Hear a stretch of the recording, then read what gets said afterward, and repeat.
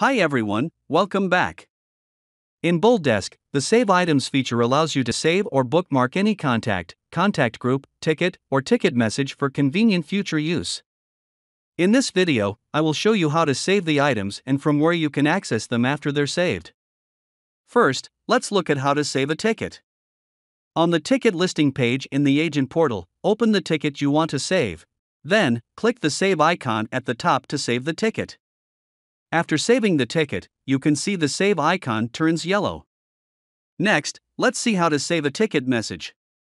Open the ticket and find the message that you want to save. In the More Options icon, click the Save Message option. To save a contact, click the Contacts module and open the contact you wish to save. Click the Save Contact icon at the top. The Save icon turns yellow after saving the contact. Finally, to save a contact group, open the Contacts module. Then, click the contact group you want to save. At the top here, click the Save Contact Group icon. Here again, the Save icon turns yellow after saving the contact group. Now, let me show you how to view saved items. With the help of the Saved Items icon in the top right corner, you can view all the saved items, including the tickets, messages, contacts, and contact groups, by moving to the respective tab.